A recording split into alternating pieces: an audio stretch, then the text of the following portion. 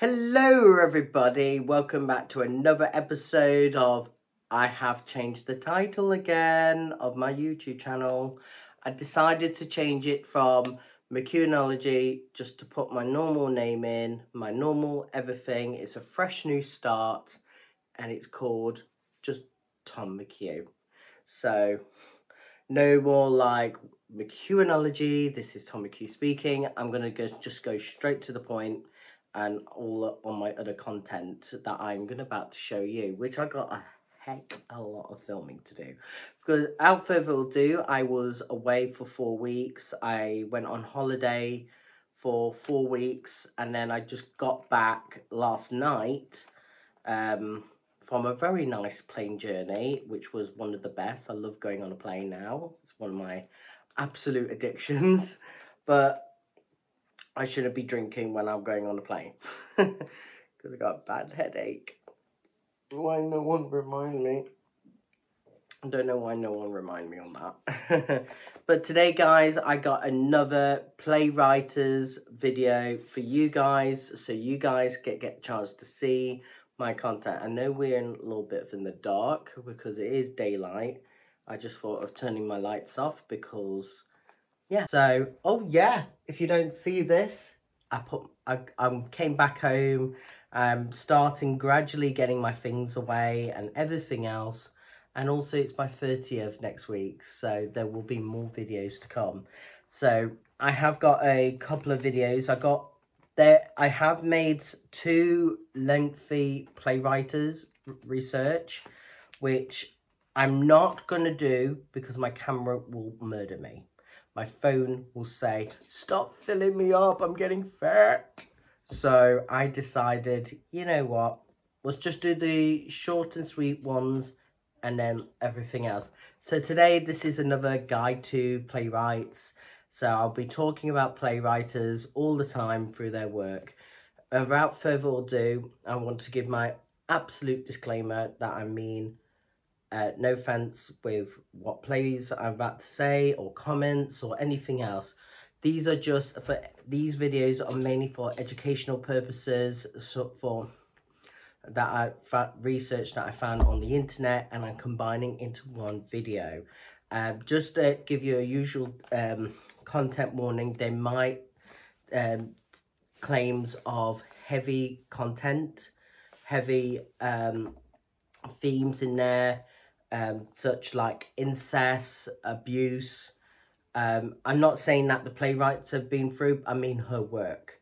So if you don't feel like it and um, you want to listen to any of those comment, th those topics, um, please shut out of the video and come back when you're feel feeling pretty much prepared. So today, guys, this is um, Marina Carr, who is a Irish playwright I think it's Marina Carr. I put her uh, in the comments, but uh, I put in the title. So, so Marina Carr is an Irish playwright that was born in Dublin in 1964. Her father is an, a play a playwright and novel a novelist, and her mother is a primary school teacher, and she and she's one of the six children in her family. So it's fascinating really like from like looking into um marina carr um her father is a playwright and if you will look back on laura wade another video i i done you can go and check that out. Um her she didn't come from a theatre background except um her father um her father works on computers and that she gains inspiration from her father and from one of her plays. I think it's called Other Hands. Um, go and check out that video. I'll show you there. But she has come from a writing background, Marina Carr. She's come from a writing background and yeah. So she went to University College in Dublin where she joined a drama society and she wrote one of her first plays.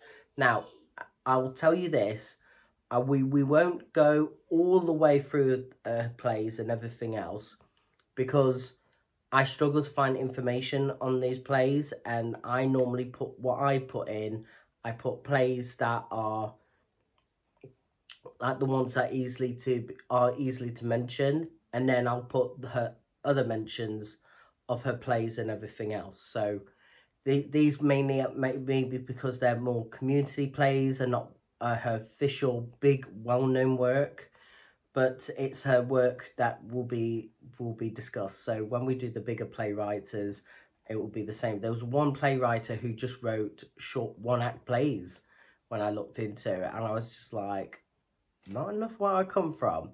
So anyway so she went to so she wrote her first play and she was graduated from English and philosophy. And then she joined a MA course with the writer and playwright of Absurd Theatre of the Absurd, Samuel Beckett, the king of the absurd. I know who Samuel Beckett is. I would probably might do a video. Comment down below if you want to see that happening. And we'll see what happens. So, and now let's get into her work.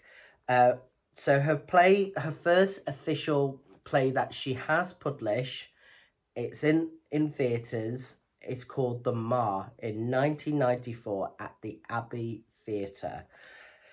This play it this play explore explores four generations of women and one one family member in the Midlands. The central character, Ma, struggles to save her marriage and the happiness of, of herself and her and her children. This um so this play explores on how history repeats itself with the generations of family or combining in the one with no matter how the tragic actually becomes.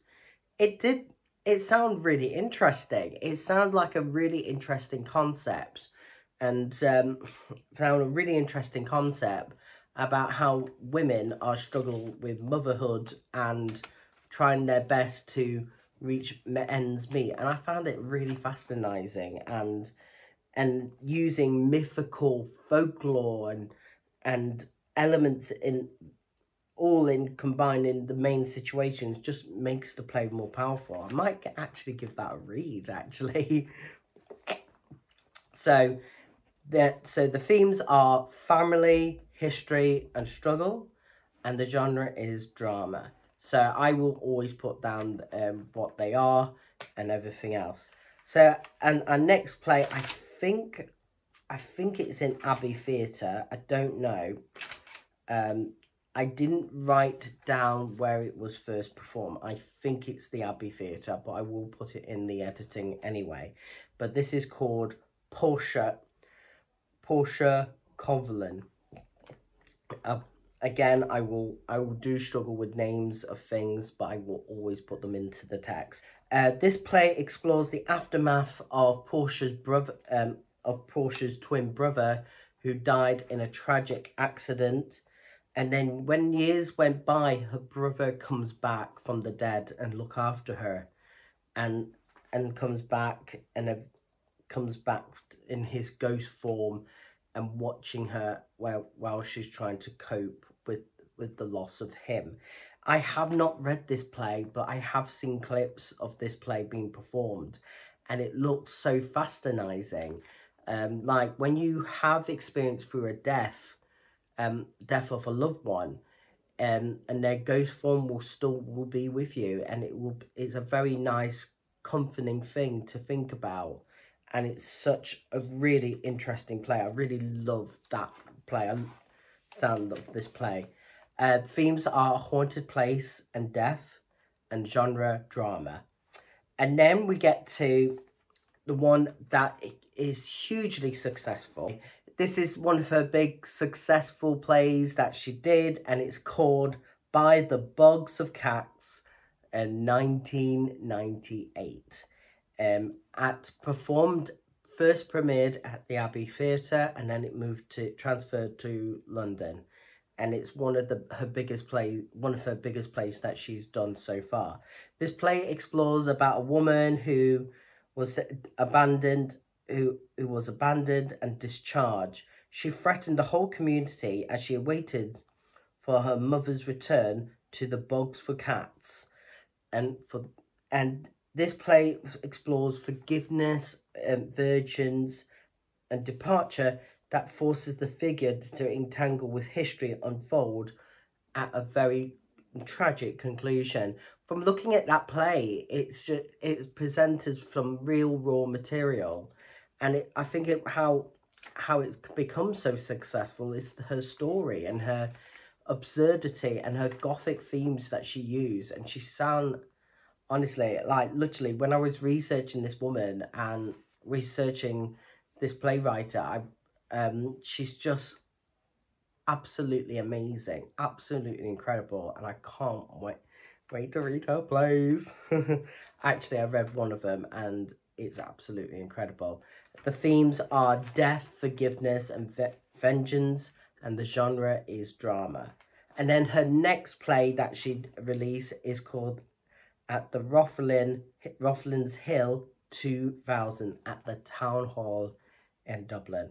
So before I will get to this um, this part here, this play will um, will contain abuse. So if you want to skip along on this next video, you can do and and or if you don't want to continue anymore, um, please shut down. Uh, please stop the video and you can come back for another day because this is where um, it will the themes are, are quite heavy. So so on Roth, Rotherin's Hill, um, the play centers on a family on an Prussian rural clan, and it explores the the the bastards of evil, of incest, abuse, and brutality. So with the, with within this family, they with the main character Red, who has a relationship with his daughter for so many years and continue for years. So basically, like she doesn't have a relationship um, with people around her age. She has that rela relationship with her own father. This play presents the uh, the most bizarre themes to where to where it make it makes me as makes me as a playwright and actor that I want to read it. I still want to read it. Themes are incest and abuse and genre drama. And then we will get to this other play that is based on a, a Greek play. And it's uh, the play is called or Ariel in 2002 at the Abbey Theatre. And with Marina Carr, she writes, mostly her plays were first performed in Ireland, um, but also perform, first performed at the Ab Abbey Theatre and then they always get transferred there. The Abbey Theatre, as coming from the research on Irish drama, they they are like um, the the royal the royal court um they are the royal court um but based in Dublin and it's called the Abbey Theatre. And then you got the Royal Court in London, the Royal Court, where they help new playwriters and current playwriters it's the same with the Abbey Theatre, but helping Irish playwrights. So, this play is the base on Evercles's is the title. I do struggle with pronunciation. So, the play centres on Pharamond, Pharamond Fitzgerald, who sacrificed his daughter as he made a bargain with God to trade her when she was 16. And Pharamond has been haunted by ghosts of his past and and his past it's basically like if you make a decision even trading your family members especially your children you can get punished for doing these sort of things and it's that whole cycle that he gets there's severe consequences that this character is going through because he wanted political power this is what from looking at the research again he wanted political power so that's what he was doing. He wanted political power. In order to do that, he traded his daughter when she was 16. And that was like, oh, he sounded like a prick. He sound the character sounded like a prick. And the play present the play presents political power and struggle and struggles and hardship that Varun have went through. And it's like that hard for him saying he wishes he shouldn't done that but he was so addicted to power and that's what it does to people when you're addicted to power and you wanted everything to go in your own way, you have to suffer the consequences. And this is what how Marine, Marina Carr um, has done it in that way. If I'm pronouncing her name in a Irish accent, I am part Irish when I'm doing this. So if I sound Irish throughout this video, that please just respect that because I am part Irish as well. The themes are power, death, and ghosts, and the genre is drama. So this is um we're coming towards her last play that she's done, and and then we'll get to her other plays that she has done um as well. So and this is her last play that she did that came to the Royal Court, and it's called The Woman and the Scarecrow in 2006 at 2006 at a Royal Court. So this is was her first play that's been published at the Royal Court. Her other plays have been published in London before, but this one is her first one being performed at the Royal Court. Uh, the play focuses on a woman who is dying and she was talking to her alter ego, which is the Scarecrow. And this play does remind me more like The Wizard of Oz with the Dorothy and the Scarecrow. And it gave me those vibes when I was first read it. It gave me those vibes coming over and everything else. And it focused on the death of this woman and having her companion being with her. Like even he's not physically there and present. It's I feel like it's a really good thing because I, from what I heard about the character, she was lonely and and she does have family, but I think she has family. I really don't, unsure, but I will get there to the when I read the play fully. But it's about loneliness. It's really about loneliness that she suffered suffers for, and as she was dying, she has this this gu guiding shoulder talking to her. So the themes are death, and um, themes is death, and genre is dr- is drama and noble actors who was in this play. I only featured only say noble actors um like in very few plays that I put in.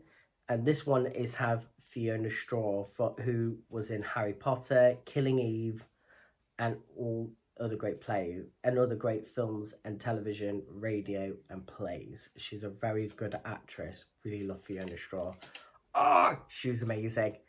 And now we get to her other plays that she has play. I sort of call them my honourable mentions. Like honourable mentions she put it I put in. Or I just put in other plays. So here is a list of plays that she has done in the, in the past and she has released them. And now we get to her method. So from what I know about Marina Carr, she she's very heavy on absurdism and surrealism. Like she, her major influences is Samuel Beckett, and she uses his inspiration to combine in her writing. Another key aspect of Marina Carr's writing is Gothic theatre. Um, Gothic theatre, if you don't know what is Gothic theatre is, Gothic theatre is basically a theatre style where a lot of playwrights and theatre practitioners uses uses horror through that aspect. So we're talking about ghosts, um, ghosts and the fear of the unknown and everything else. So if you think on a very classical, big, major hit of Gothic theatre, and those are The Woman in Black and The Phantom of the Opera, and currently 222. Those are the plays that are Gothic theatre. And that and for Marina Carr, she is a contemporary Gothic theatre writer. And she like especially used Gothic theatre for Portia to emphasize the style with the ghosts and all ghosts of her brother and such and such and such. And that is it from today's video. I'm glad to be back and i got some other great videos gonna be coming around around very very soon. I you can tell I have done my content, writing notes down and everything else. So I will be making more videos as the day will progress. I don't know how I'm going to get to...